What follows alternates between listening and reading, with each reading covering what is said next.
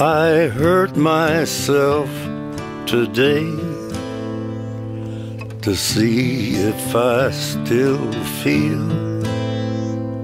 I focus